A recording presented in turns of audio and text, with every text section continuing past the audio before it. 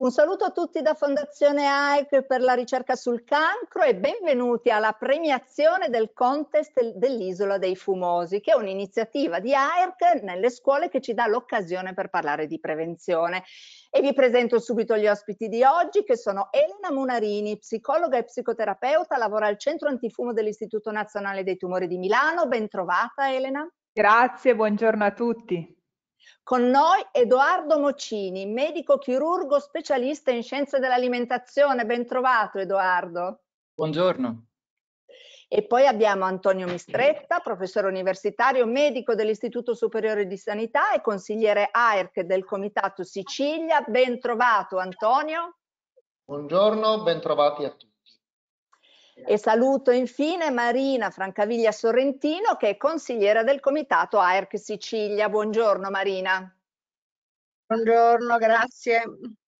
Allora, brevemente vi racconto chi è Fondazione AERC e cosa fa per le scuole. Innanzitutto diciamo che l'obiettivo di AIRC è quello di rendere il cancro sempre più curabile. Come vedete in questa slide è nata ben nel 1965 e in tutti questi anni di lavoro ha raccolto oltre 1 miliardo e 400 milioni che sono stati investiti in progetti di ricerca dal 1965, oltre 70 milioni invece sono stati investiti in borse di studio per i giovani ricercatori e in questi anni ovviamente i ricercatori sono riusciti a ottenere anche tanti risultati. E questa, eh, questi finanziamenti AERC li fa attraverso una serie di iniziative e mi piace ricordare che in questi giorni proprio c'è la Zalea della ricerca, vedete io la Zalea della ricerca qui, ce l'ha anche Marina vicino a sé, nelle piazze italiane l'8 e il 9 maggio c'è, uh, la Zalea della ricerca che serve al sostegno per la ricerca sui tumori femminili. Approfitto per dirvi che volete, se volete saperne di più trovate tutto su lafestadellamamma.it.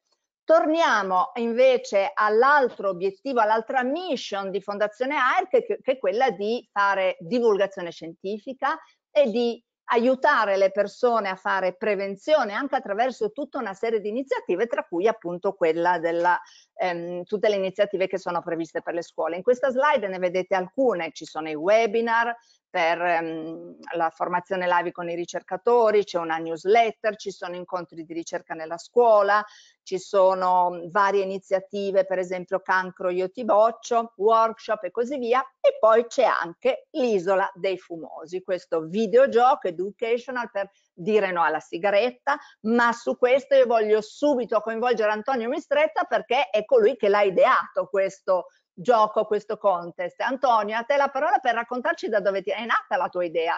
Grazie, grazie mille Michela, è un progetto a cui io sono particolarmente legato, affezionato, e per la verità è una paternità doppia eh, che abbiamo, le, mi lega a un mio carissimo amico d'infanzia, più giovane di me, che purtroppo non è più con noi, è Antonio Sorrentino, col quale quest'idea è nata tanti pomeriggi fa.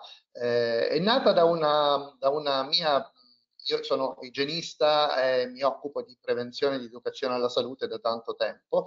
Eh, mi ero reso conto che eh, in Italia eh, il, i supporti di didattica da utilizzare eh, per eh, la scuola erano sempre molto seriosi e io eh, venendo, venendo, da un'esperienza in Canada avevo visto che la didattica ludica, cioè il gioco, veniva molto utilizzata utilizzato. E allora eh, avevo proposto alla nostra compianta presidente del Comitato Sicilia, donna Rabella Salviati, che è stata una personalità eccezionale per tutto l'AIRC, eh, era una donna eh, in là di età, però con una mentalità giovanissima, giovanissima, che ha capito il, eh, il senso della, questi giochi di didattica e allora abbiamo fatto una prima esperienza che era quella eh, del progetto Mangioco, dei giochi per l'alimentazione e poi io ho detto ma è il caso di fare una app perché è la cosa che più tutti hanno uno smartphone, un telefonino, un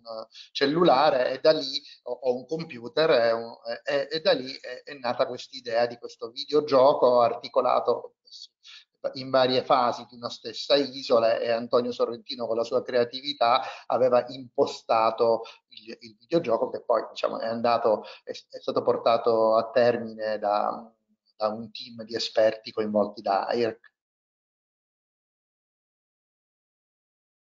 Grazie eh, Antonio. Ecco, avevo spento il microfono per non avere sovrapposizioni. Allora, grazie Antonio per questa presentazione. Poi torneremo ovviamente fra un po' a parlare del, di questo concorso. Adesso invece per noi è il momento di entrare un po' nella parte più scientifica.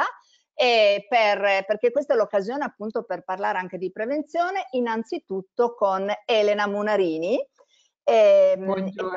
buongiorno, ribuongiorno Elena. Allora, Elena affronterà il discorso del fumo. I ragazzi che ci stanno seguendo sicuramente lo sanno perché tutti ormai sanno che il fumo fa male, nonostante questo però molti giovani iniziano a fumare da giovanissimi, quindi quello che eh, ti chiedo anche nel tuo raccontare i rischi del fumo e così via, anche di aiutarci a capire quali strategie dobbiamo mettere in atto per aiutare i giovani a non iniziare mai con questo vizio. Quindi ti lascio la parola e un'ultima cosa, ragazzi e ragazze che ci state seguendo, se avete domande specifiche per Elena, potete già fin da adesso scriverle nella chat che trovate ovviamente nella vostra schermata.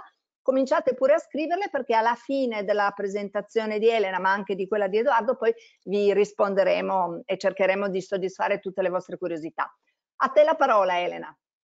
Bene, Grazie e sì Michela dici bene, buona parte della mia presentazione eh, sarà proprio finalizzata a capire come mai ancora tanti inizino a fumare e quali dinamiche ci sono dietro. Quindi alla tua domanda su come fare ad aiutare i ragazzi eh, a non iniziare, la prima risposta è eh, permettere loro di conoscere che cos'è veramente eh, il mondo del tabacco e delle multinazionali del tabacco eh, di cui spesso si sa poco, e poi anche i meccanismi proprio che della sigaretta la rendono così un gancio forte per cui noi sappiamo che chi inizia a fumare poi fumerà per buona parte della propria vita o anzi eh, quasi tutta, ahimè, per molti. Cominciamo col dire che eh, possiamo parlare di un'epidemia vera e propria perché si diffonde tra le persone, si diffonde in un'età che è definibile pediatrica perché molto spesso è prima dei 18 anni si inizia a fumare. E il veicolo eh, di questa eh, epidemia sono le pubblicità e le sponsorizzazioni. Eh, I ragazzi che ci seguono sono sicuramente giovani, ma gli insegnanti eh, probabilmente si ricordano le pubblicità ai Gran Premi e alle tante manifestazioni sportive che sono vietate ormai dalla fine degli anni 90 ma eh, oggi vi farò vedere come in realtà eh, questo mondo appunto del tabacco e delle multinazionali sia attraversato da grandi menzogne e grandi strategie per aggirare eh, le leggi che cercano appunto di, eh, se non altro, mettere i consumatori in grado di rendersi conto di che cosa significhi fumare. Eh, vi mostro questa foto storica eh, che vi fa vedere quanto ehm, quante appunto menzogne eh, ci siano, quanto grandi, scusate, ehm, e non era diciamo l'inizio del secolo, eh, ma era il 1994 quando cinque top manager di cinque multinazionali del tabacco giuravano di fronte al Senato americano che la nicotina non dava dipendenza e questo a fronte di appunto una serie di azioni tra cui la corruzione di medici e scienziati per poter affermare questo.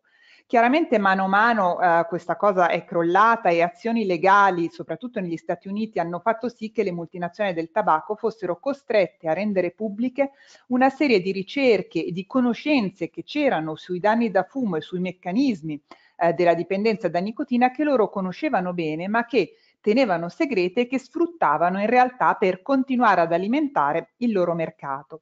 Un'altra grande bugia, eh, ormai storica, però sicuramente che è durata molti anni, è quella delle sigarette light.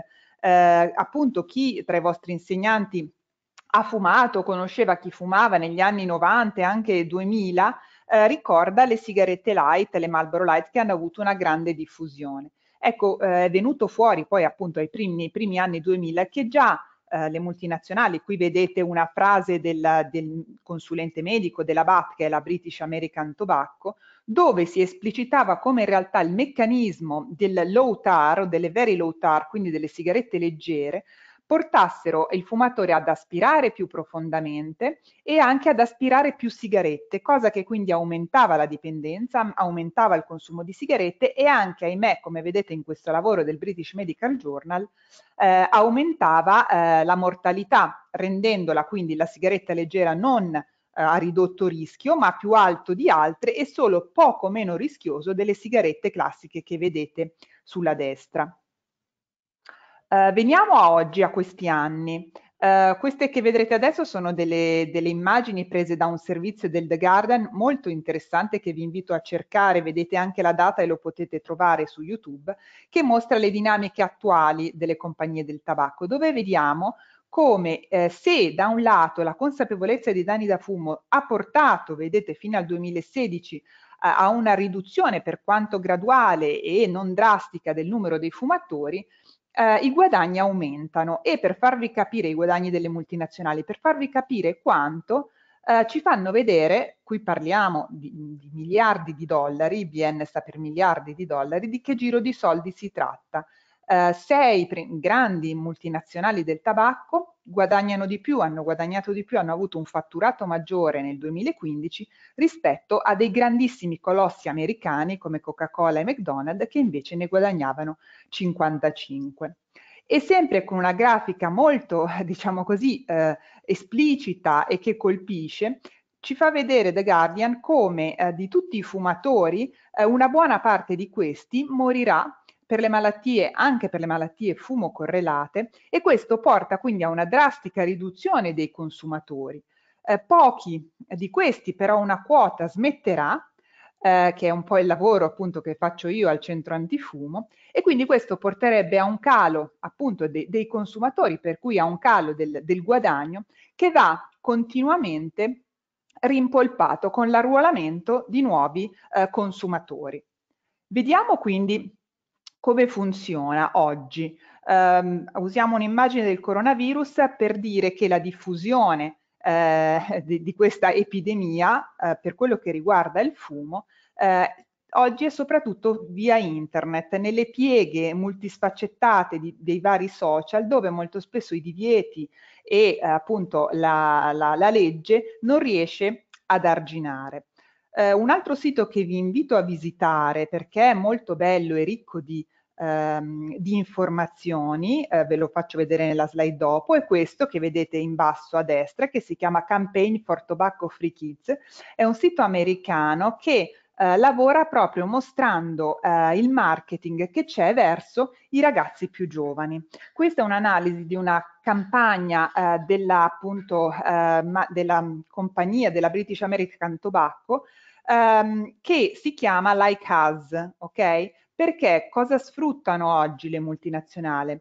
Eh, le multinazionali, gli influencer. Gli influencer sono queste figure, non ve lo devo certo dire io, eh, che sui social si mostrano eh, come persone da un lato di successo, da un altro però vicine a noi e che quindi ci viene voglia di imitare per poter appunto essere come loro. Questa campagna si chiama Like Us e nel sito sono riportate eh, i, i, contratti con cui eh, appunto la BAT eh, ha finanziato questi, questi giovani con delle regole ben precise, sono dei contratti veri e propri in cui viene richiesto di mostrare in una serie di foto e di post eh, con, dei, con dei ritmi eh, proprio definiti nel contratto, per cui quante fotografie, quante volte in un giorno, come mostrarle, ma anche, come potete vedere, eh, l'hashtag da usare, che in questo caso è, è like us appunto opportunamente camuffato, da non usare da solo, come vedete specificato sotto,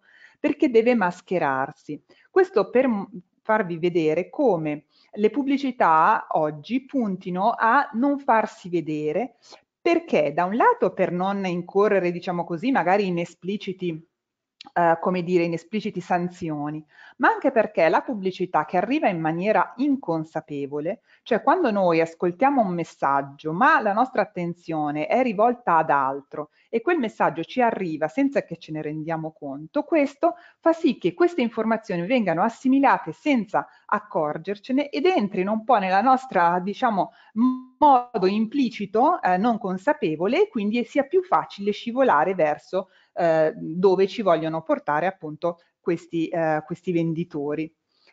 Uh, per, ve le faccio vedere, li potete trovare, scorro veloce, vedete come fanno presa sugli aspetti no, più belli uh, della, della, vita dei giovani, quindi le espressioni di sé, i viaggi, uh, la musica, gli eventi musicali, i luoghi, ma anche l'arte. ricordo sempre il, il, Salone del Mobile di tre anni fa a Milano in cui la Philip Morris aveva fatto un'installazione grandiosa, artistica, bella, con delle esperienze anche proprio eh, personali assolutamente all allettanti per promuovere eh, il loro prodotto ICOS di cui poi vi accenno. Ecco, ma una volta che si inizia, che cos'è che tiene poi agganciati? Eh, sicuramente c'è la nicotina, che è questo alcaloide eh, che si trova nel tabacco e che si lega ai recettori che noi già abbiamo, che sono i recettori dell'acetilcolina, che presiedono a una serie numerosissima di funzioni sia del sistema nervoso centrale che periferico nel nostro corpo. Quindi questa stimola eh, la dopamina, eh, stimola il sistema di gratificazione, quindi un sistema subcorticale, come potete vedere da questa immagine, quindi difficilmente mediato dalla ragione. Ecco perché spesso il fumatore vive in questa sorta di conflitto che per chi non fuma è difficile da capire, per cui si desidera smettere di fumare, ma allo stesso tempo non ci si riesce, proprio perché c'è un lavoro su un circuito che è quello del, del bisogno, di un bisogno che non, non, guarda, non riesce a guardare alla ragione.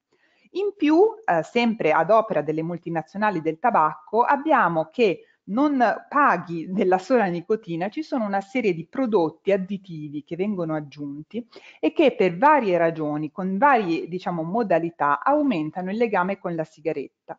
Per cui troviamo i broncodilatatori eh, che aiutano appunto a che il fumo vada più in profondità, il mentolo e gli aromi che lo rendono più piacevoli, eh, l'ammoniaca e altre sostanze che aumentano eh, la velocità dell'arrivo della nicotina al cervello, i sedativi della tosse una, e anche i fori nel filtro perché la tirata sia più profonda. Tutto finalizzato a legare di più e a fare della sigaretta una vera droga. La nicotina stessa, come potete vedere in questa eh, tabella, si dimostra essere una droga a tutti gli effetti. La prima nel dare dipendenza, chiaramente l'ultima per tossicità, ma non l'ultima nell'astinenza, ad esempio che è solo secondaria all'alcol e alla e all'eroina, scusate, ed è al pari della cocaina, per cui non è facile smettere di fumare, di questo noi ci rendiamo conto. Oggi poi abbiamo altri prodotti perché appunto le multinazionali per correre al riparo dalla perdita di consumatori eh, legata appunto al fatto che le persone si sono sempre più rese conto del danno, abbiamo avuto il, la nascita e la diffusione dei dispositivi elettronici, per cui avete le sigarette a liquido, che sono le seconde, e quelle a tabacco riscaldato. Anche qui eh, poi vedremo eh, prodotti che dovevano nascere col fine di tutelare, diciamo così, di migliorare, di, di diminuire il danno e quindi migliorare la salute dei fumatori, stanno diventando in realtà eh, delle possibili eh, porte e agganci per i più giovani proprio attraverso dei marketing che sono finalizzati a far conoscere le sigarette elettroniche soprattutto ai giovani.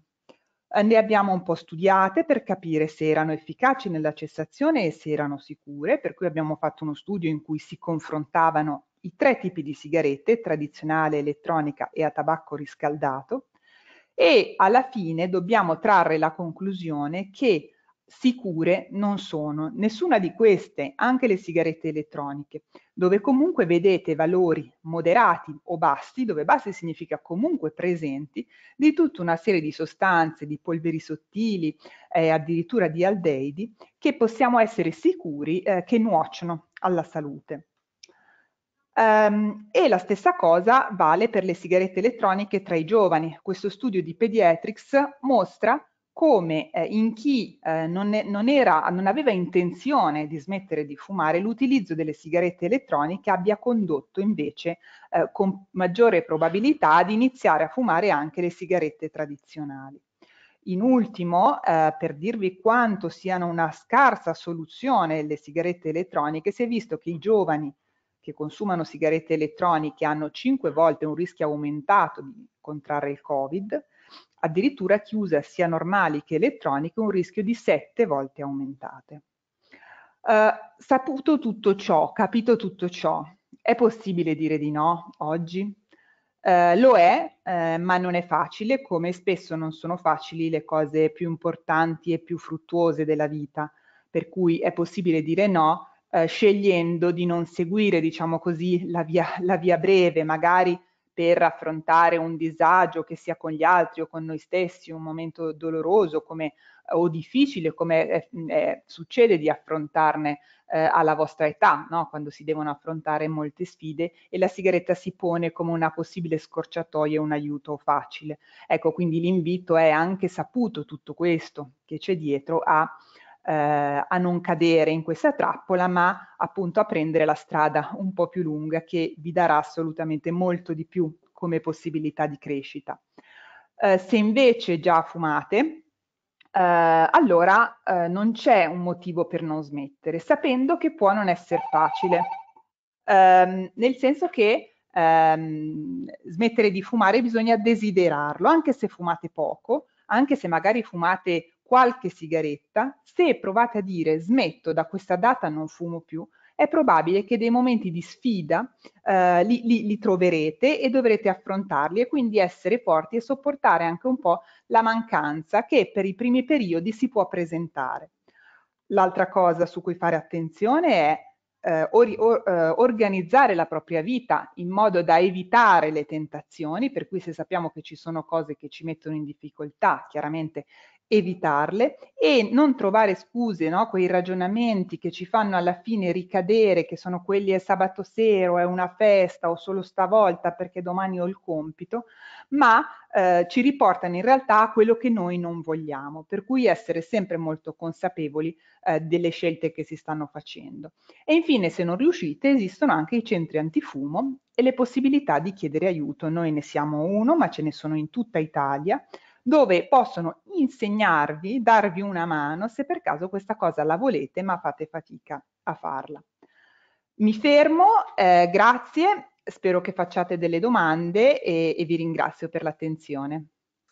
E io invito tutti a fare domande. Grazie Elena per questo, eh, per questo quadro che hai disegnato partendo da queste pubblicità mascherate no? che ci ingannano, che ci raggirano in un certo senso per poi per arrivare ai danni veri del fumo. Sappiamo che il fumo è la prima causa ehm, di, eh, dello sviluppo di un tumore perché sappiamo che fumare porta non solo al tumore del polmone ma il rischio è molto elevato anche per tanti altri tumori.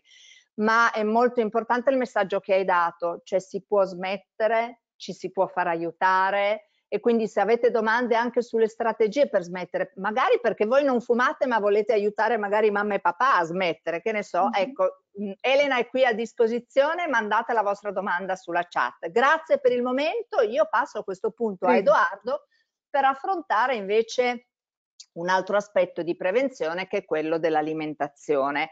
E di alimentazione anche qui è un grosso problema perché viviamo molto con le mode, no? Eh, ci sono le mode alimentari, si mangia in un modo, si mangia un po' l'altro, anche qui eh, ci sono tanti corsi di cucina, tante informazioni, insomma Edoardo devi aiutarci a fare un po' di chiarezza perché secondo me le idee, se sono confuse su certe cose che riguardano il fumo, lo sono ancora di più su alcune cose che riguardano l'alimentazione. Quindi ti lascio la parola e raccontaci un po' quanto è importante la sana alimentazione e soprattutto qualche consiglio di strategia per mangiare in modo sano. Prego.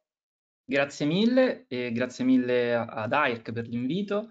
E penso che i due argomenti abbiano molte cose in comune. Innanzitutto faccio i complimenti alla dottoressa Monarini, è stata una bellissima presentazione e penso che il fumo e l'alimentazione abbiano molto in comune. Innanzitutto perché molti dei messaggi appunto sbagliati che noi abbiamo eh, derivano effettivamente dalla diet industry, che forse non muove lo stesso giro di denaro, ma poco ci manca. E, ehm, e poi perché appunto sono connessi dei piani non solo organici eh, come la dipendenza dalla nicotina, eh, ma anche psicologici, sociali, ed è quello di cui vorrei parlare e che adesso vorrei affrontare. Innanzitutto, quando si parla di alimentazione, c'è sempre la grande rincorsa a cercare di capire qual è la migliore dieta, cioè qual è il modo migliore di mangiare. E quindi appunto ci sono di volta in volta queste mode che vengono riprese, a volte anche con un fare pseudoscientifico, eh, che dovrebbero in qualche modo definire qual è il modo ma migliore di mangiare rispetto ad un altro. Se volessimo semplificare e cercare di dire ma qual è effettivamente la dieta migliore? Beh, io direi che è la dieta che ci mantiene in salute e quindi dobbiamo fare un altro passo indietro e definire che cos'è la salute, che non è un argomento banale tanto che si è espresso sull'argomento l'Organizzazione Mondiale della Sanità, eh, definendo la salute come uno stato di completo benessere fisico, mentale e sociale e non la mera assenza di patologia. Questo è un elemento fondamentale perché ci dice che eh, quando pensiamo alla vita di una persona e alla salute di una persona non è semplicemente dagli esami del sangue o dalla presenza di un sintomo organico che possiamo definire la sua salute, ma dobbiamo fare quella che viene definita come una valutazione olistica dove teniamo conto di tutti gli aspetti, mentre invece sappiamo che la salute sociale, psicologica, mentale molto spesso viene trascurata. E eh, se quindi andiamo ad analizzare eh, i tre aspetti dobbiamo considerare per la salute tutti e tre dei pilastri, dei, come le gambe di uno sgabello in cui se ne manca una lo sgabello cade e quindi viene meno il concetto di salute e di benessere per una persona. Facendo un passo indietro, se dovessimo parlare di alimentazione ed è il motivo per cui esiste la specializzazione, che è la mia specializzazione in scienza dell'alimentazione, mentre non esiste la specializzazione in nutrizione, è perché all'interno della parola alimentazione, all'interno della branca dell'alimentazione, è compresa la nutrizione, che riguarda uno degli aspetti dell'alimentazione. Per cui se parliamo di alimentazione sana, dobbiamo prima chiederci che cos'è l'alimentazione e quindi è eh, tutto ciò che riguarda il mangiare, ma noi di certo non mangiamo solamente per nutrirci, mangiamo per tanti motivi, quindi vi sono anche gli aspetti sociali, vi sono gli aspetti culturali, gli aspetti psicologici, ve ne sono anche altri, non potevo elencarli tutti, ce ne sono tantissimi, e poi ovviamente ci sono anche gli aspetti nutrizionali che sono ugualmente importanti e che non possiamo certo dimenticare. Se eh, parliamo di nutrizione, andando a semplificare, perché ovviamente in pochi minuti non è possibile diciamo, parlare in maniera esaustiva dell'argomento, eh, potremmo però, andando a semplificare, eh, individuare tre grandi obiettivi della nutrizione, cioè della componente nutrizionale di quello che mangiamo, dell'alimentazione. I macronutrienti, i micronutrienti e l'equilibrio calorico. Ora, eh, andando a vedere due di questi elementi principali, perché i micronutrienti ovviamente sono tutti quelli che servono per il nostro benessere, che possono essere le vitamine, così come eh, i minerali, però molto spesso eh, si parla dei macronutrienti e proprio per sfruttare un po' il modo di parlare, direi scientifichese, in cui si mettono degli, del, degli elementi di scienza che eh, dovre- fanno da aggancio rispetto alle persone, spesso si parla di alimentazione in modo superficiale proprio per questo motivo, perché nel corso del tempo mh, tutti quanti voi avrete visto che a seconda delle mode, dei momenti, dei periodi e delle aziende che propongono eh, un tipo, un modo di mangiare rispetto ad un altro, vediamo che per un po' di tempo bisogna eliminare tutti quanti i grassi, poi all'improvviso bisogna eliminare tutti quanti i carboidrati poi diventa molto importante invece la quota proteica di quello che mangiamo, quindi vediamo che ci sono dei prodotti con scritto proteico che magari non hanno nulla di diverso rispetto al prodotto accanto, contengono proteine, però non, è, non, non sono speciali, però servono da aggancio, da marketing. E se dovessimo andare a definire se esiste un macronutriente migliore di un altro, anche se effettivamente la vita è possibile anche senza l'assunzione di carboidrati, in realtà quando andiamo a fare una valutazione scientifica, cioè facciamo degli studi prospettici o meta-analisi sul modo di mangiare delle persone, eh, una meta-analisi cioè un raccoglimento di tanti studi, ci accorgiamo che in realtà eh, la prevenzione delle patologie cronico-degenerative non migliora se si eliminano del tutto i carboidrati, anzi ovviamente ci possono essere dei problemi se c'è un consumo eccessivo di qualunque macronutriente, ma questo vale per tutti e tre i macronutrienti. E se dovessimo sfatare uno dei grandi falsi miti dell'alimentazione, non possiamo fare a meno di nominare la carbofobia, in quanto eh, noi sappiamo che spesso quando si parla di la necessità clinica di migliorare la propria composizione corporea oppure la necessità cosmetica, estetica di aderire ad un modello estetico che ci viene proposto dai media e eh, per la quale l'industria delle diete ci offre una soluzione, perché da una parte i media ci dicono i vostri corpi non vanno bene, dovete essere tutti aderenti a questo tipo di corpo, e dall'altro ovviamente arriva l'industria ad offrirci la soluzione. Una delle soluzioni più diffuse è quella di eliminare i carboidrati. In realtà questa cosa non ha nessun senso dal punto di vista scientifico e anche semplicemente dal punto di vista, eh, insomma, per, per fare un po' di matematica, le calorie un grammo di proteine, un grammo di carboidrati, abbiamo le stesse calorie. È ovvio che ci sono delle vie metaboliche diverse, che queste calorie possono essere utilizzate in forme diverse, però prendere peso o diminuire di peso e di conseguenza di adipe dipende dall'equilibrio calorico. E appunto se andiamo a vedere l'equilibrio energetico, noi sappiamo che in teoria per poter mantenere una uh, composizione corporea anche una forma corporea di conseguenza, per mantenerci con una percentuale adiposa ma anche di massa magra che sia eh, coerente con la prevenzione delle patologie cronico-degenerative, l'equilibrio deve essere tra introito e consumo. E parlando di malnutrizione dal punto di vista energetico, sappiamo che nel momento in cui l'introito è diverso dal consumo, abbiamo una malnutrizione e questa può essere per eccesso o per difetto.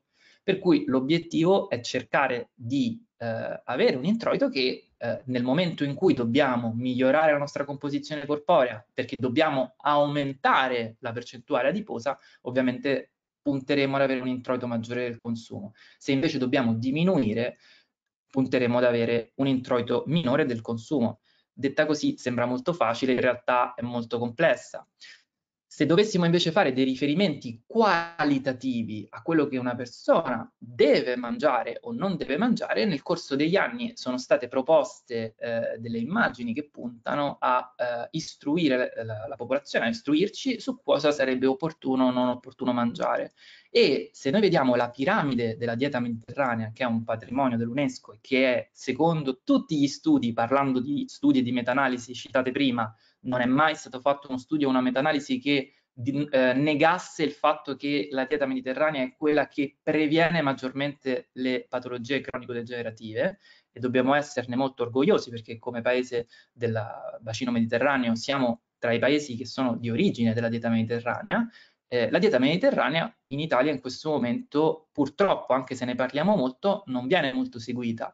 Infatti vediamo che nella piramide eh, innanzitutto alla base della piramide vediamo alcuni elementi che non fanno parte dell'alimentazione in senso stretto, perché abbiamo l'attività fisica, la convivialità, la stagionalità e il consumo di prodotti locali, che sono tutti elementi che non sono direttamente collegati con la, l'aspetto nutrizionale, ma che sono importanti. E poi alla base vediamo i prodotti di origine vegetale, perché la dieta mediterranea è una dieta di fatto plant-based, in cui si parla molto di dieta vegetariana e di dieta vegana, che alcuni possono seguire per motivazioni etiche e che potenzialmente sono diete che non necessariamente portano a malnutrizione, ma che anzi possono essere seguite, soprattutto se uno ha una motivazione etica e eh, personale, però in realtà se andassimo a vedere la differenza tra la dieta occidentale, la dieta degli occidentali e la dieta vegetariana, è molto più simile alla dieta mediterranea a una dieta vegetariana rispetto a quello che poi mangiano la maggior parte delle persone. Vedete che salendo nella piramide troviamo il latte con i suoi derivati, la frutta a guscio,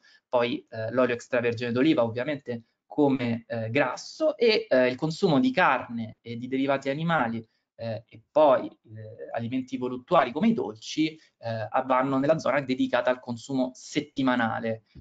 E eh, se andiamo a vedere altre immagini che sono state utilizzate, che forse sono un po' più intuitive perché si rifanno alla nostra quotidianità, vediamo il piatto della salute che è stato studiato dall'Università di Harvard, che punta a ehm, istruirci in maniera semplice, eh, intuitiva, su qual è il modo di mangiare e vediamo subito che più di un quarto del piatto dovrebbe essere dedicato al consumo di vegetali, cosa che non sempre succede. Cioè se un pasto, un pranzo o una cena in cui noi stiamo mangiando non prevede il consumo di vegetali, noi abbiamo più di un quarto del piatto che teoricamente non è come dovrebbe essere.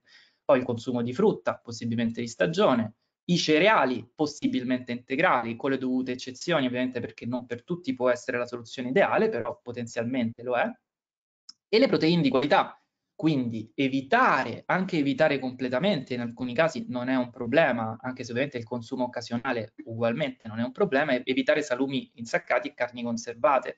Noi vediamo che eh, purtroppo se siamo costretti a mangiare fuori casa con eh, le soluzioni che ci vengono proposte sono quasi sempre panini con affettati. Se uno è costretto a farlo tutti i giorni rischia di consumare gli affettati due, tre, quattro, cinque volte. In realtà è una cosa che andrebbe ridotta e non eh, incentivata o aumentata. Quindi proteine di qualità, semi, legumi, ma anche carne bianca e pesce cercando di ridurre il consumo di carne rossa e possibilmente evitare il consumo di carni conservate e lavorate. E poi l'utilizzo dei grassi buoni, quindi l'utilizzo di grassi salutari come l'olio d'oliva, l'utilizzo di grassi di origine animale o di grassi trans, ma anche vegetale, come l'olio di palma, sul quale è stato detto tantissimo, però forse a volte in maniera anche un po' troppo terroristica, eh, però andrebbe comunque ridotto. Ovviamente, ogni, parlando dell'ambito nutrizionale e di quello che andiamo a mangiare, di quello che andiamo a consumare nostre, nella nostra quotidianità, è importante, eh, utilizzo questa frase che a me piace molto, cioè che tutto va preso con moderazione, anche la moderazione. Per cui se eh, diventa un atteggiamento eh, ossessivo, comunque sia terroristico, alla fine potremmo ottenere il risultato opposto. Spesso eh, nel mio lavoro di medico i pazienti si preoccupano, fanno riferimento a quello che poi è un messaggio che deriva dall'industria della dieta, cioè gli sgarri. Io so, durante la settimana mangio bene e poi faccio lo sgarro. In realtà il concetto stesso di sgarro è sbagliato perché di per sé ogni regola ha l'eccezione e l'eccezione per definizione conferma la regola. Per cui se noi abbiamo 5 pasti al giorno, 3 pasti principali e 2 spuntini, abbiamo 30-35 pasti a settimana. Preoccuparsi di quelle 3-4 eccezioni che facciamo a settimana è mh, mm, inutile. Eh, possiamo magari fare sì, anche se comunque non c'è niente di male nello scendere da soli e prendersi un gelato, perché abbiamo voglia di farci una coccola e perché vogliamo mangiare qualcosa che non mangiamo nella quotidianità, però se possibile sarebbe bello che questi momenti di eccezione li, abbina li abbinassimo ai momenti di convivialità cioè momenti in cui quegli alimenti, eccezione, li consumiamo con qualcuno a cui vogliamo bene, qualcuno con cui vogliamo vivere un'esperienza di convivialità. E poi non dimentichiamoci degli altri due eh, del pilastri, delle altre due gambe dello sgabello, quelle che abbiamo detto che senza la, la, lo sgabello della salute cade. E mh, il benessere psicologico e che è un aspetto estremamente trascurato e che eh, speriamo che il nostro Servizio Sanitario Nazionale possa eh, valutare e trattare sempre di più, eh, una dieta che ci fa stare male dal punto di vista psicologico senza voler parlare in maniera più esplicita di disturbi del comportamento alimentare, che sono patologie molto complesse e non è questo il momento e il luogo per parlarne, però una dieta che ci fa stare male, perché ci rendiamo conto che ci fa pensare continuamente all'alimentazione, ci rendiamo conto che impatta su alcuni ambiti della nostra vita che non riguardano specificamente l'alimentazione, cioè ci ritroviamo a, pensarne, a pensare troppo al cibo, forse non sta promuovendo la nostra salute. E quindi è importante quando si parla di diete che non si pensi a schemi alimentari dove ci sono solo le componenti nutrizionali, ma che i professionisti della salute che intervengono sulle diete o sull'alimentazione comprendano di dover prendersi carico anche degli aspetti psicologici, ovviamente avvalendosi della collaborazione di psicologi, psicoterapeuti, psichiatri. E ehm, per quanto riguarda invece l'aspetto sociale, ehm, è importante che quando noi ci approcciamo ad un tipo di dieta comprendiamo il fatto che eh, eh, non è possibile eh, trovarsi in una situazione di salute o pensare che uno stile alimentare promuova la nostra salute se ci sta impedendo di partecipare ai, a dei momenti sociali, a dei momenti di convivialità. Anche perché se noi immaginiamo un grafico a torta dove ci sono tanti elementi che compongono la nostra vita, tra cui anche l'alimentazione, in quel grafico troviamo anche gli amici, i parenti, momenti conviviali, Se noi leviamo quei momenti, ovviamente è più probabile che l'ambito dell'alimentazione si espanda, potremmo ritrovarci sorprendentemente a mangiare di più e a mangiare in modo sbagliato.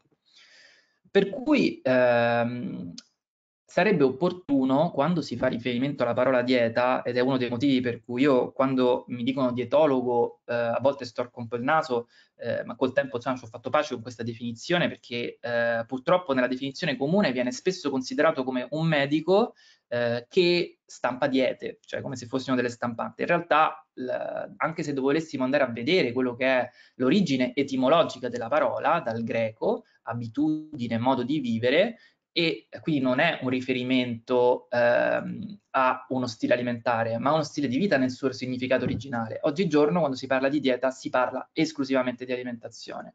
E eh, per cui, come si potrebbe fare per affrontare questo aspetto? Cercare di considerare, prima ancora di sentire la necessità di andare da un professionista che ci fa una dieta, eh, il proprio stile di vita nel, proprio, nel complesso, cioè mh, le diete meno se ne fanno, meglio è, intese come trattamenti dietoterapici, per cui eh, prima ancora di rivolgersi a un professionista potremmo controllare eh, il piatto della salute, quello che vi ho mostrato prima, e dire eh, consumo abbastanza verdura, consumo frutta oppure consumo troppo di qualche alimento? Per esempio mi accorgo di dire io mangio tutti i giorni un panino con affettati, magari posso lavorare su questa cosa. Movimento, faccio attività fisica che non è solo una passeggiata o la camminata veloce, ma è un'attività fisica formale in cui io mi muovo e a seconda delle fasce di età vi sono dei livelli che sicuramente sono anche più importanti di quelli che fa la maggior parte della, della popolazione e l'attività fisica formale, cioè uno sport, eh, non solo essere attivi nel senso che io mi muovo per andare a piedi a lavoro, ma anche proprio fare uno sport dove faccio un'attività fisica contro resistenza, dove sollevo pesi, dove faccio flessioni, faccio piegamenti e eh, ragionare con un atteggiamento più, eh, che i terapeuti definirebbero più cognitivo-comportamentale, ma che noi abbiamo un po' preso in prestito senza avere ovviamente eh, la presunzione di fare psicoterapia, però ragionare in casi clinici anche con il paziente su se stessi, su, eh, anche in un percorso per con se stessi, sull'individuazione di criticità per esempio, mi rendo conto che io non faccio attività fisica perché faccio fatica a farla, perché non sono portato e perché ho difficoltà. Ok? Cerco di, allora passo al punto 2, provare delle soluzioni. Trovo un amico o un'amica con cui allenarmi, provo diversi sport finché non ne trovo uno che mi piace. Quando ho completato il percorso valuto e dico ok, adesso io faccio sport. E la stessa cosa si può fare con tutti gli altri aspetti del proprio stile di vita per ottenere una modifica del mio stile di vita che non vada ad impattare sulla mia qualità di vita, sulla mia salute, andando a danneggiare gli altri aspetti della mia salute, che non sono semplicemente nutrizionali, ma che sono per l'appunto anche psicologici e sociali. E vi ringrazio per l'attenzione. Grazie a te Edoardo per, soprattutto per questi consigli finali che ci mettono nella condizione di iniziare a interrogarci se per esempio mangiamo abbastanza frutta, abbastanza verdura, se quella che dovrebbe essere una piacevole eccezione alla settimana invece diventa una cosa eh, quotidiana, eh, però ci sollevi anche eh, cancellando la parola sgarro e quindi domenica festa della mamma, un bel pranzo in famiglia con una bella torta, festeggiare la mamma e noi festeggeremo ovviamente anche con la zalea. Stanno arrivando tante domande, riflessioni su quello che hai detto. Aggiungo, tu hai detto la dieta è uno stile di vita, la salute in generale è uno stile di vita. Eh, se noi facciamo determinate scelte, prima eh, Elena ci ha raccontato dell'importanza di non iniziare a fumare, se noi ci sediamo a tavola e siamo conviviali e scegliamo guardiamo quello che mettiamo in tavola, questo ovviamente nel tempo ci farà stare bene. Grazie per il momento Edoardo, eh, ci sono delle domande per te, ma risponderemo dopo la premiazione, perché adesso per noi è arrivato il momento di premiare i vincitori del contest e quindi io voglio coinvolgere a questo punto subito Marina Francaviglio Sorrentino e ovviamente se avete ancora domande sia per Edoardo sia per eh, Elena Munarini, continuate a mandarle nella chat perché poi avremo il tempo per rispondere. Ecco, adesso vedo comparire Marina. Marina, siamo arrivati alla premiazione, ma prima di lasciarti la parola per la premiazione, cosa significa per te questo concorso? Eh beh, potete capire benissimo che significa tantissimo. perché con questo concorso avete fatto in modo che Antonio sia ricordato sempre e il suo contributo ha anche avuto grande valore in questa, in questa storia di creazione. Lui ha messo, ha messo, come dire, tutta la sua fantasia, tutta la sua eh, creatività per aiutare il testo di essere. Grazie moltissimo è stato questo. E quindi ogni volta che penso a questa, questa vicenda tra il triste e il bello, eh, e sapere che Antonio è ricordato da voi e dall'AIRC commuove moltissimo e sono felice di poter parlare con questi ragazzi che hanno partecipato a questo concorso e mi piacerebbe anche capire le motivazioni che l'hanno portati a essere protagonisti e, e anche bravissimi. Eh sì, perché Grazie guarda, parte... a tutti hanno partecipato in tanti, i, pro, i progetti e le, le, cose che hanno inviato erano tutte molto belle, la giuria ha fatto anche un po' di fatica a individuare i vincitori eh, perché veramente c'è stata tanta che partecipazione bello. e quindi a questo Bellissimo. punto io ti lascio la parola per annunciare la prima vincitrice del, perché ovviamente abbiamo le quattro sezioni, eh, del contest sulle scuole secondarie di secondo grado. Allora, scopriamo insieme i vincitori. La parola a te Marina, vediamo la prima categoria. La categoria immagine. Allora, eh, la vincitrice è Eleonora Brunelli, della quarta classe, del liceo scientifico Aleardo Leardi di Verona. Ringrazio anche la docente Erika Diani che sicuramente avrà contribuito a, a spingere i ragazzi a partecipare. Io applaudo, eh? E, e, ah, un applauso, un applauso. Cioè, siamo in questa complimenti, complimenti ma... vivissimi. Mi piacerebbe sapere mh, eh, cosa, cosa, è stato per questa ragazza, quanti anni ha? Classe quarta, quanti anni hanno? 17. 15, 16. 16? Ah, Eleonora, ti vedo. 17 anni? Sì, mi senti? Mi no. Volevo, volevo, sapere cosa, cosa, ti è piaciuto di più di questo gioco e, e, come lo hai interpretato. Ti vediamo Eleonora, ti vediamo, ti vediamo, tranquilla. Ma mi sentite? Sì, sì, ti sentiamo anche. Sì, sì, sentiamo. Ok, allora, un momento. Adesso non ti vediamo più, ma adesso penso che... Eccoti qua. Adesso sì, ti vediamo e ti sentiamo. Allora... Sì, la motivazione, l'ispirazione per questo disegno l'ho presa dal dipinto La danza di Matisse e infatti da qui viene anche il titolo, La danza dei fumatori inconsapevoli. Sono inconsapevoli perché loro sono scheletri ma non se ne stanno rendendo conto il fumo li ha ridotti in questa condizione e loro danzano felici senza accorgersi che in realtà il fumo appunto li sta lentamente uccidendo, che in realtà sono già morti, quindi sì, è una sorta di metafora. Mi complimento con te perché questa coppiata con, eh, con Matisse è straordinaria. Hai visto questo, questi quadri? Perché sono due questi di Matisse. Hai visti pers personalmente? Personalmente Quindi hai no. avuto un'ispirazione? No, comunque sono bellissimi, se ti capita di vederli personalmente sono fascinosissimi. Complimenti davvero. Grazie. Allora, adesso passiamo. Grazie ancora Eleonora, adesso diamo la parola ad Antonio così vi alternate sì. nella premiazione.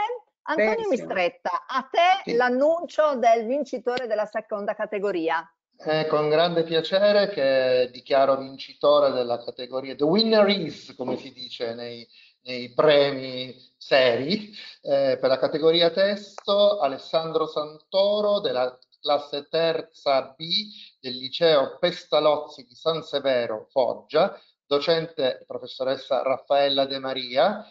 Eh, la motivazione del testo che vediamo accanto, attivo, passivo, brucia una sigaretta, battiti persi di lancetta, è la seguente, una prosa ritmica, la rima, le metafore che si rincorrono, il battito il rumore della lancetta dell'orologio, ma anche del cuore vivo, trasmettono chiaro e forte il messaggio cont contro il fumo, sia attivo sia per chi lo subisce passivamente. Complimenti Alessandro e di qualcosa in base alla tua ispirazione che ti ha portato a Buongiorno.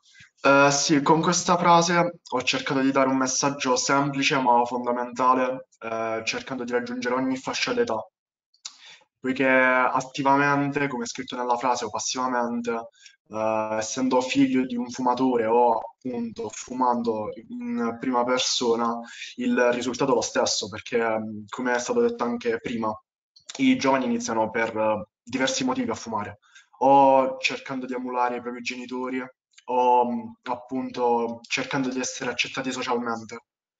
Quindi eh, questo messaggio voleva appunto arrivare anche ai più piccoli con questo piccolo gioco dei battiti persi di lancetta perché appunto è quello il fine. Ci possono essere molteplici sfumature, ma il risultato è lo stesso. Ci si rovina la vita accorciando appunto i battiti.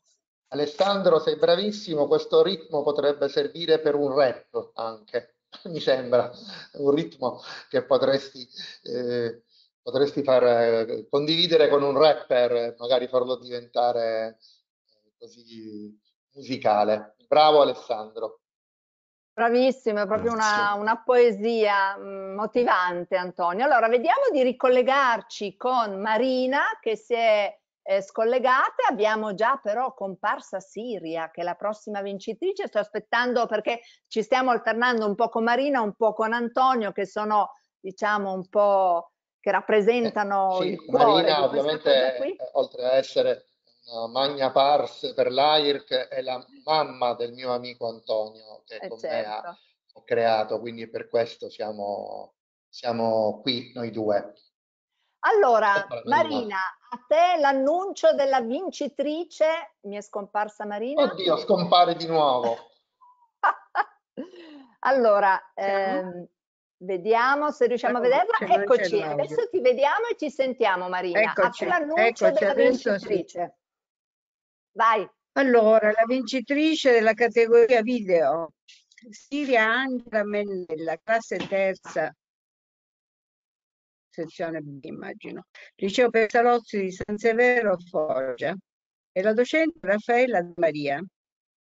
Questo cognome mi è quasi familiare, parenti De Maria, siamo parenti forse con la professoressa, sarei felice.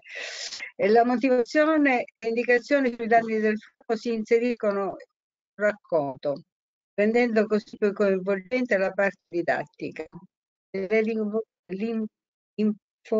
infografiche, ah, le infografiche animate, la struttura finale del video sia videogioco trasmettono il messaggio in modo efficace e convincente. Brava sei Siria, Angela, complimenti, davvero. Io sono, sono sempre felice di vedere dei giovani. Quanti anni hai? 16. Quanti anni hai?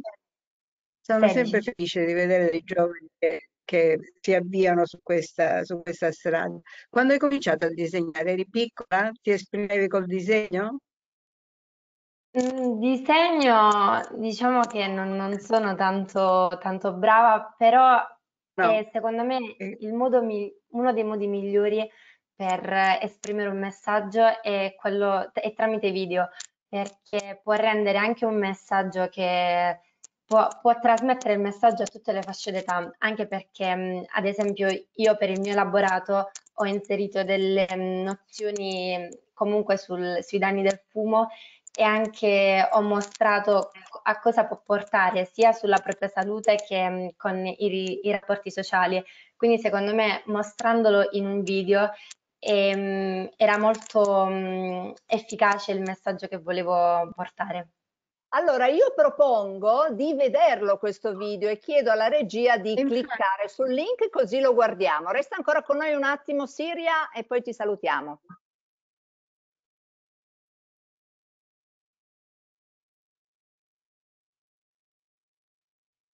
Se ci riusciamo, vediamo, eccolo qua. Però non abbiamo l'audio, regia. E anche la visione.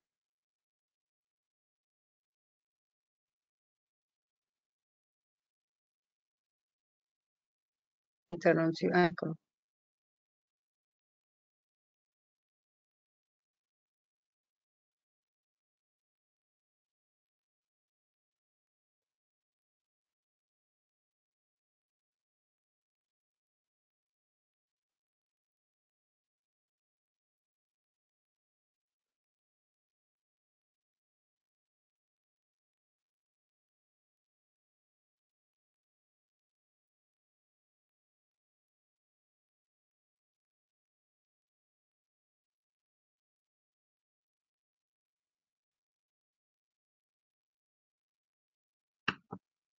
Certo.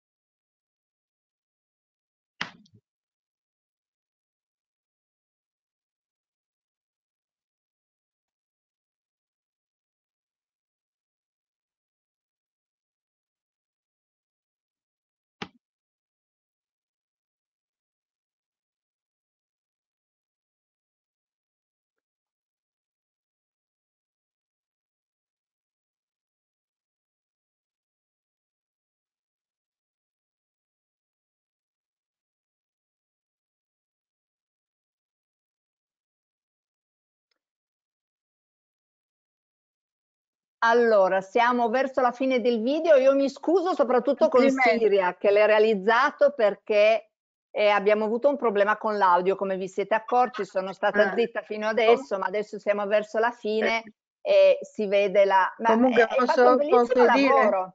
Prego Marina. Bellissimo. Posso dire a Siria che veramente questa tecnologia usando la tecnologia moderna, probabilmente colpirei di ancora di più la, la, fantasia dei ragazzi e portarli a non, a non fumare, a propensa nel fumo. Mi complimento davvero.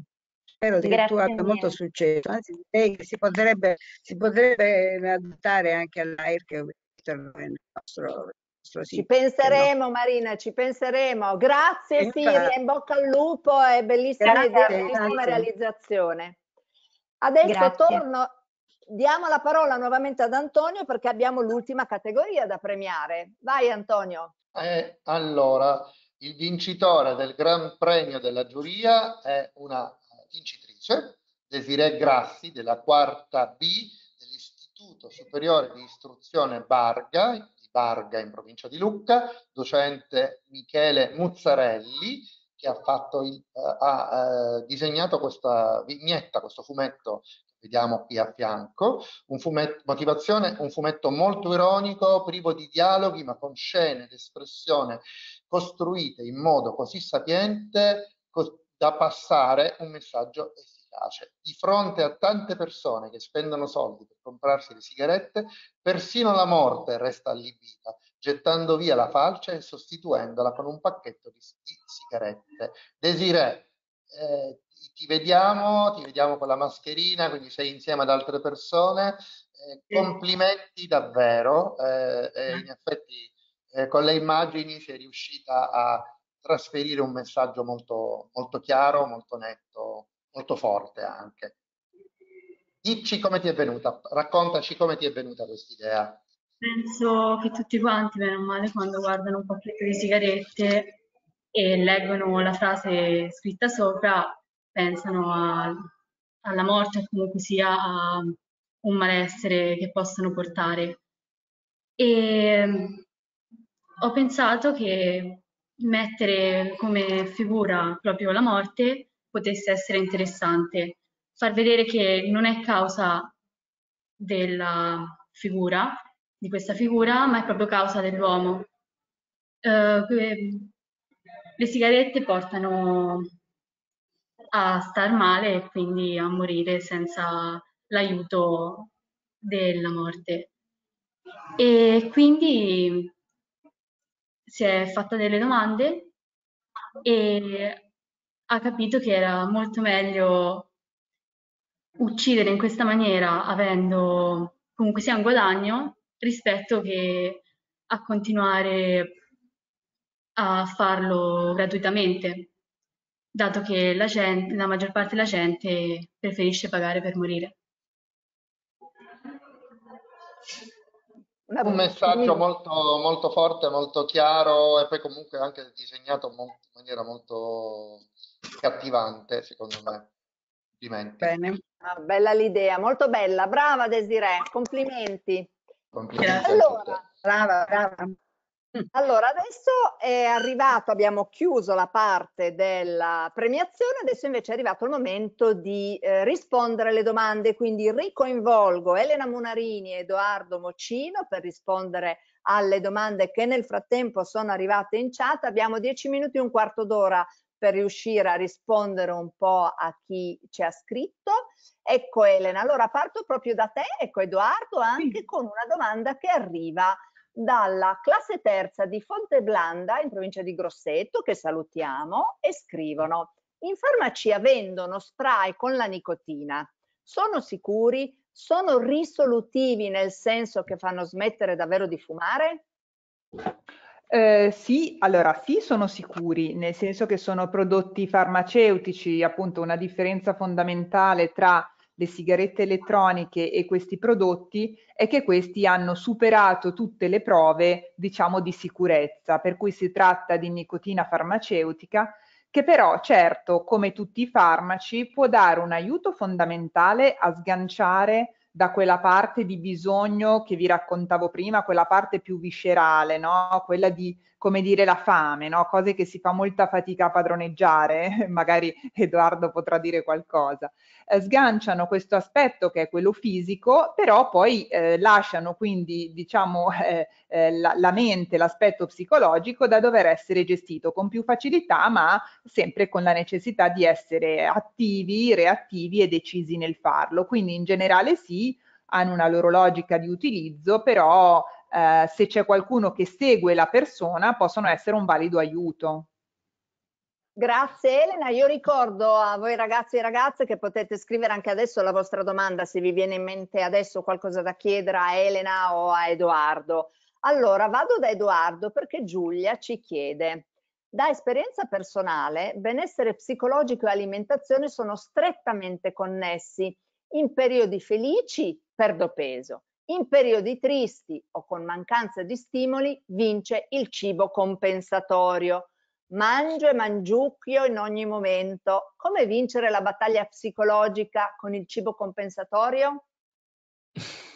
Diciamo che eh, succede a molti. Il punto, eh, quando c'è un fenomeno, è se questo diventa, e la dottoressa Munarini sicuramente eh, ne sa anche più di me sull'argomento, quando diventa pervasivo e eh, riguarda tutti gli aspetti della propria vita, allora diventa problematico. Se succede che in un pomeriggio sono un po' più triste e mi concedo un gelato per tirarmi su, non è quello il problema. Se la cosa diventa quotidiana e io abbino tutte le mie emozioni all'alimentazione, allora può essere opportuno eh, seguire un percorso clinico di riabilitazione e con professionisti eh, in un percorso multidisciplinare ovviamente. Allora, ancora un, eh, parliamo ancora di alimentazione con una bella eh, riflessione di Giovanna sulla dieta che deve farti sentire bene anche socialmente. La pizza una volta a settimana fuori con gli amici, appena si potrà tornare a vivere liberamente, la convivialità è una cosa sacra. Edoardo, diritto costituzionale direi, cioè, andrebbe messo in Costituzione. E in cui dopo questo periodo abbiamo tutti imparato a godere di più anche di questi momenti probabilmente, però riprende un concetto che hai affrontato prima, quello della convivialità, della socialità, del cibo, che è molto importante per stare bene, giusto? Assolutamente sì, siamo abituati a vedere gli alimenti come macronutrienti, no? Ho mangiato dei carboidrati e poi ho mangiato delle proteine. In realtà nella pasta c'è una buona quota proteica e così come in altri alimenti possiamo trovare un mix di eh, macronutrienti. Quando andiamo al ristorante non, non chiediamo dei carboidrati eh, alla grassi e pepe, chiediamo una pasta alla cacio e pepe. Quindi impariamo a riconoscere gli alimenti e non occuparci in maniera ossessiva dei macro e micronutrienti. Abbiamo ancora una domanda sul fumo. Roberto sì. chiede che probabilità ho di sviluppare un tumore se fumo solo ai polmoni? Elena, anche se fai la psicoterapeuta e la psicologa, sì. so che questi sono argomenti che conosci molto allora, bene. chiaramente eh, la probabilità di sviluppare un tumore ai polmoni eh, ha anche delle altre influenze mh, mm, ambientali, genetiche, familiari, però quello che sappiamo qui all'Istituto Nazionale dei Tumori è che 8 o 9 eh, persone su 10 che hanno un tumore al polmone fumano o hanno fumato per molti anni della loro vita. Eh, per cui diciamo che è sicuramente la maggiore, due persone, solo due su dieci che non fumavano, anzi per alcune ricerche anche una sola su dieci che non fumava ha avuto un, un tumore polmonare, per cui diciamo che è il più grande responsabile del rischio. Eh, non posso predire quanto, però è come se una persona si esponesse a un rischio elevatissimo, perché ormai anche l'inquinamento ambientale eh, non, non, è paragonabile a quello che succede aspirando direttamente da una combustione dal punto di vista della quantità di sostanze cancerogene che vengono introdotte nel nostro corpo. Ormai persino le auto hanno dei filtri, i riscaldamenti si sta cercando di migliorarli, il fumatore è quello che si espone a, appunto a una quantità di cancerogeni veramente altissima, per cui il rischio è, è davvero alto e coinvolge in effetti tanti altri tipi di tumore, penso quello del cavo orale, sì, il pancreas. Infatti no? quello che volevo dire è che ahimè in realtà non c'è nulla che viene, non c'è una parte del corpo che viene davvero risparmiata, perché chiaramente prima vi ho fatto vedere delle polveri, ci sono polveri eh, più grandi e altre ultrafini. Le polveri ultrafini quindi quelle più grandi si fermano a livello della gola, della bocca e del polmone, ma quelle ultrafine attraversano la barriera alveolo-capillare nei polmoni, per cui vengono portate nel sangue e da lì in giro per tutto il nostro corpo, dove ancora delle, colpiscono degli organi di più, come ad esempio la vescica perché filtra, ma in realtà va in tutto il nostro corpo, per cui non c'è un organo davvero risparmiato da, dal fumo. Pervasivo, arriva ovunque. Torniamo a parlare di alimentazione. Andrea chiede se fanno bene gli integratori alimentari. Dipende, dipende se è opportuna la prescrizione. A volte li prendiamo un po' seguendo l'indicazione. Eh, l'integratore alimentare lo dice il nome stesso, serve per integrare la nostra alimentazione. A volte possono essere, darci dei benefici, però sarebbe opportuno assumerli dietro l'indicazione di un professionista della salute che ci aiuta a identificare quali sono le criticità prenderli eh, senza indicazione mh, mm, nel, non solo non fa bene, ma rischia anche di farci male. Maria Chiara chiede sempre a proposito di alimentazione, come si impara a discernere le tante notizie sull'alimentazione e sull'attività motoria che troviamo sul web? Sono sempre vere?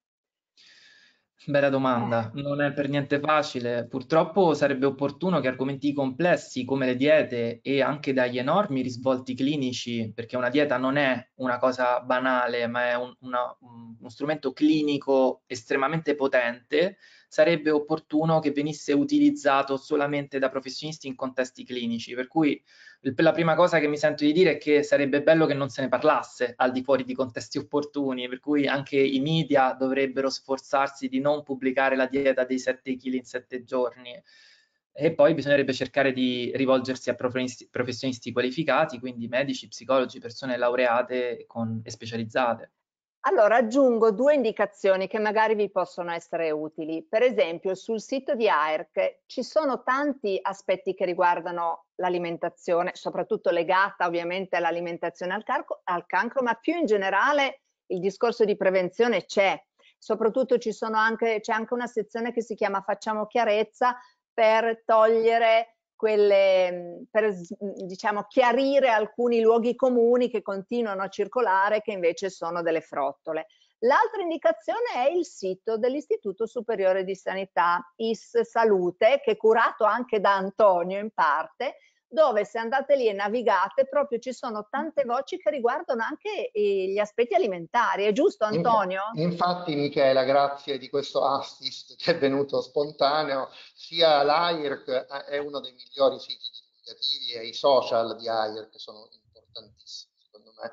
Noi abbiamo presso l'Istituto Superiore di Sanità questo sito che si chiama IS Salute, c'è tutta una sezione addirittura sulle bufale, intese non come mozzarelle, ma sulle, sulle fake news alimentari. Noi stiamo vedendo, fra l'altro, un proliferare di informazioni contrastanti, la cosiddetta infodemia eh, che ci sta turbando tutti diciamo, nei confronti del Covid-19. Nel campo dell'alimentazione ormai siamo da tanti anni presenti invito tutti a, a, a, accedere a questo sito che è www.ss salute, l'ultima S compone la parola salute.it eh, eh, dove trovate informazioni serie e affidabili. Ma l'AIRC con i suoi social e il suo sito è sicuramente una delle migliori in Italia. Allora, eh, avevo ancora tre domande al momento. Parto da Emanuele, una domanda per Elena. Ho sentito parlare di fumo di terza mano. Che cos'è? Il fumo di terza mano è quello che è depositato, diciamo così, sulle superfici eh, dei luoghi dove fumiamo. Eh, può sembrare una raffinatezza eh, rispetto al fumo passivo, che è quello di seconda mano, che in realtà appunto oggi si, ormai è noto quanto sia dannoso e si cerca di arginare è che veramente contiene moltissime sostanze più di quello che viene emesso dalla bocca del fumatore, cioè il fumo che viene emesso dalla sigaretta che brucia non è stato nemmeno filtrato dai polmoni del fumatore che la sta fumando, per cui è ricco e altamente pericoloso perché è anche più, diciamo così, freddo. Il fumo di terza mano è quello che invece appunto eh, per moltissimo tempo, specialmente nei tessuti, quindi negli ambienti chiusi dove ci sono tende, divani eh, e, e situazioni che lo possono assorbire, rimane e che può essere pericoloso eh, soprattutto per i più piccoli, per i bambini che quindi toccano, si mettono le mani in bocca. Eh, per cui ecco, sicuramente questa domanda mi dà lo spunto per invitare eh, ancora di più, anche se ormai si sa, però insomma stare molto attenti a non fumare nei luoghi chiusi e anche quando si fuma sul balcone attendere qualche minuto il rientro dentro casa perché il fumatore che spegne la sigaretta continua a emettere significative quantità di polveri per ancora due o tre minuti dopo che ha spento la sigaretta. Per cui per tutti quanti eh, ci stiano ascoltando, un messaggio da diffondere è benissimo fumare fuori, ma non basta, si deve aspettare ancora due o tre minuti per smettere, diciamo così, di esalare eh, polveri sottili. Allora, stiamo arrivando alla chiusura di questo webinar, non riusciremo a rispondere a tutte le domande che sono arrivate, ma abbiamo ancora un paio di minuti, almeno due, credo che riusciamo a due riusciamo a rispondere, eh, però eh, potete sempre scriverci se avete altre domande o se non siamo appunto riusciti a rispondere alla vostra a info chiocciola ehm, scusate, scuola.airc.it. Allora, eh, una domanda per, eh, ancora per Edoardo ed è questa. Come esiste chi ha paura di ingrassare che porta a determinate malattie come l'anoressia? Esiste anche chi ha paura di dimagrire? Può esistere, può succedere. È chiaro che la pressione della società spinge in un'altra direzione, per cui siccome siamo tutti quanti estremamente pressati dalla necessità falsa di aderire ad un modello estetico dominante, lo stereotipo, lo stereotipo in questo momento è eh, quello del corpo magro, però può succedere che un paziente o una persona eh, si senta in qualche modo protetto, schermato dal corpo, a volte anche con un eccesso adiposo, e, eh, e, che, e, che, quindi in quella situazione abbia paura di perdere il peso, perdere dell'adipe. Ultima domanda per Elena, rapidamente. Catalina chiede se i vari medicinali per smettere di, smettere di fumare funzionano e se hanno qualche riscontro sulla salute. Eh, sì, non so se per riscontro intenda effetti collaterali, ma diciamo di sì che intenda questo. Eh, allora sì, servono assolutamente, tra l'altro negli ultimi anni ne sono usciti di molto specifici, per cui eh, esiste la nicotina che sostituisce, esiste un, un altro farmaco che si è visto che aiutava, ma poi soprattutto sono arrivati dei farmaci specifici, per cui mimano l'effetto della nicotina senza però dare la dipendenza. Sono farmaci sicuri, con pochi effetti collaterali, chiaramente però devono essere presi con una supervisione medica che dia quelle due o tre indicazioni che ti permettano appunto di assumerlo in completa sicurezza. Quindi la risposta è sì, servono e sì, sono sicuri, ma sempre seguiti da un medico competente. Allora, dobbiamo chiudere. Io ho un ringraziamento da fare non solo ai ragazzi che ci hanno seguito, ma ai loro insegnanti perché stanno facendo un lavoro a braccetto con noi di AERC che è fondamentale per tutti, per la loro salute, eh, dei loro ragazzi e così via. E ringrazio poi Marina Sorrentino che anche quest'anno è stata insieme a noi. Grazie Marina, tante cose belle. Grazie Buona festa della mamma. Poi Grazie a voi, sempre. Poi, poi abbiamo Edoardo Mocini, grazie Edoardo, buon lavoro. Grazie mille a voi, grazie dell'invito. Grazie ad Antonio Mistretta, ci vediamo presto Antonio, buon lavoro. Grazie, saluti a tutti.